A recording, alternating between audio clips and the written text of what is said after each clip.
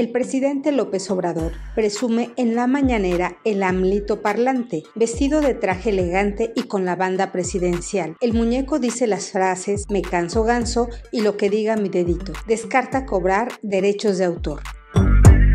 Chile asume presidencia de la Alianza del Pacífico provisionalmente, luego de que el presidente López Obrador se negara a entregarla al gobierno de Dina Boluarte, en protesta por la destitución del expresidente Pedro Castillo. Y será a partir del primero de agosto que Perú asumirá la presidencia pro tempore, así lo declaró el ministro de Relaciones Exteriores de Chile, Alberto Van Cleveren.